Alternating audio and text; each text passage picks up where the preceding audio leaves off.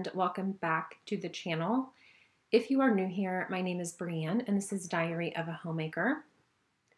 Today I thought it would be fun to bring you along for a day in the kitchen as a household that cooks mostly from scratch meals. We're starting off with some biscuits and gravy. This is a staple in our house. Sometimes we eat it for breakfast, sometimes we eat it for dinner. It's just a convenience type food, um, like a almost like a comfort food. And I do want to show you. So these are our biscuits. We are actually, I'm actually showing you this in our next Sunday Kitchen restock. So if you missed my last Sunday Kitchen restock, I will go ahead and link that below. But basically, we go ahead and prep a large amount of biscuits at one time and then we freeze them. And we have biscuits on hand at our fingertips literally whenever we want biscuits. I think once I grasped the concept of cooking once and enjoying it multiple times, everything changed and it really helped shape the way that I cook and I and the way that we eat. I am just going to go ahead and make a really simple white gravy.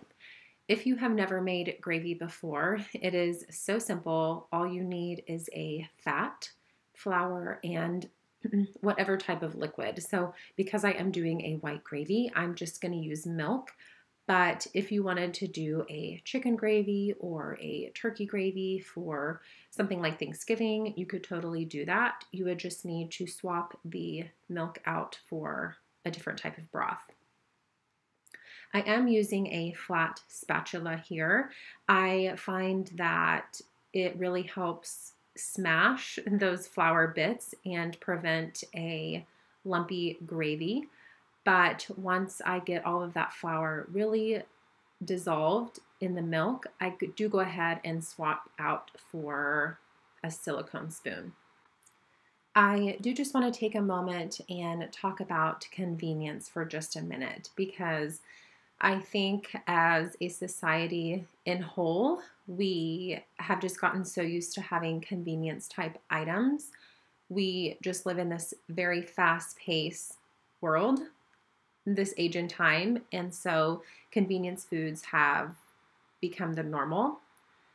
I don't love having processed convenient type foods, but by making something like biscuits ahead of time, something that you can just very easily pop into the freezer, it's still going to give you the convenience, but you have control over the ingredients.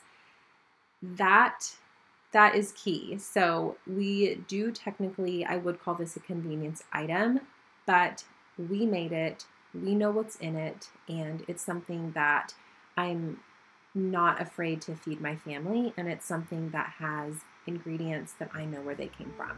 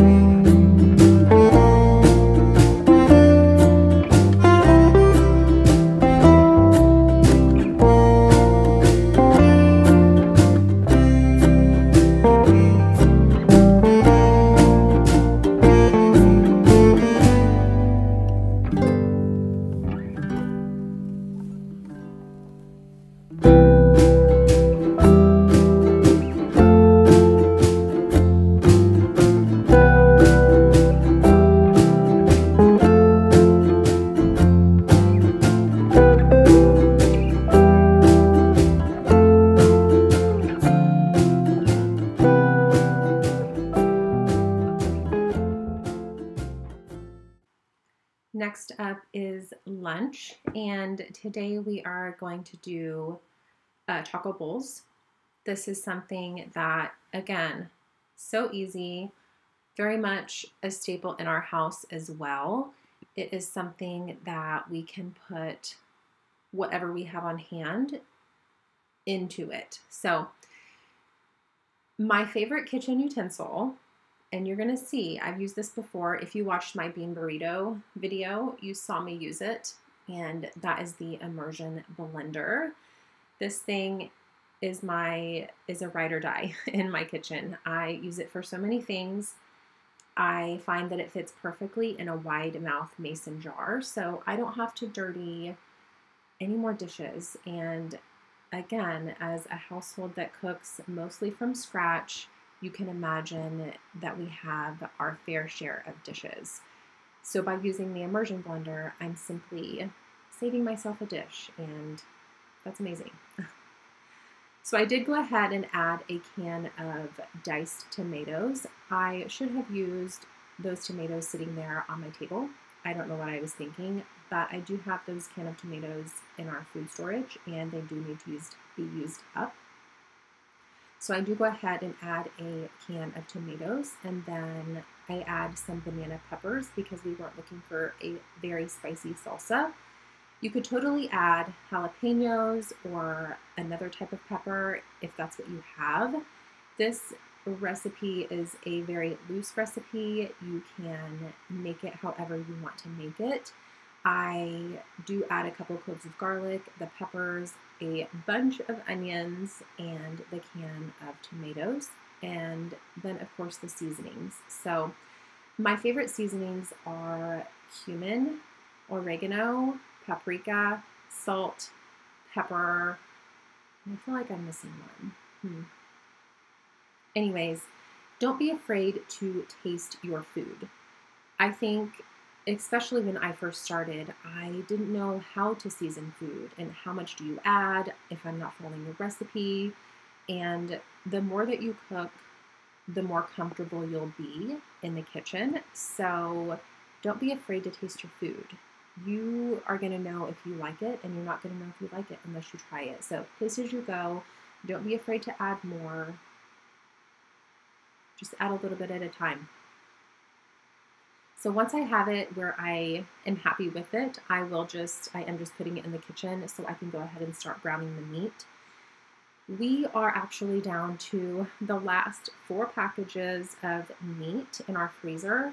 We do not use ground beef in this house, we use ground venison. Thankfully, my husband is a hunter and is able to provide enough meat for us year round that we don't have to purchase ground beef at the store. You will see this is not ground venison, this is actually ground chicken. We do tend to get some ground chicken every once in a while from Aldi and I didn't want there to be any confusion about what kind of meat this is because you're going to see that it's chicken and that is clearly not venison. So I am going to use a taco seasoning that I made. This is a homemade taco seasoning. I do plan on doing a video on this at some point. I just am not needing it right now. Actually, I had already already made it a little bit ago and I just don't need to make it for a little while. So next time I plan on making some, I will be sure to share that with you. Again, cutting out the grocery store and making things ourselves and being in charge of the ingredients, that it's it is it's life changing and I love it. So I am just going to go ahead and brown this meat up. I'll add a little bit of that seasoning and again, you'll see me add it a couple times because I just know what I like the meat to look like. But you'll learn, like I said, as you go and you learn as you cook how much seasoning to add. We just don't follow a lot of recipes as far as this. Like when I'm just cooking and I'm just trying to make a meal, a lot of time I'm not following recipes. I'm just kind of cooking as I go, and I enjoy that process very much. I did go ahead and start a pot of rice on that back burner. I was not feeling like making tortillas today. It was one of those days, and so I opted to do taco bowls instead. We do have quite a bit of rice in our food storage, and we do need to be making sure that we're going through those things and rotating through our pantry. So that is another reason why I opted to do the rice instead of tortillas. We just need to work through some of that food. And that's just part of having a stocked pantry and having a bulk pantry and buying in bulk. That's great to have those things, but if you aren't using those things, then it's kind of a waste of money and it's kind of a waste of time. So, making sure that you're rotating through and using what you have, that's very important. If you don't like rice, then you should not buy rice. And that's also part of having a bulk pantry. Don't stock your pantry with things that you don't like. We don't always make three full home cooked meals in a day. A lot of times, especially for lunches, we will eat leftovers.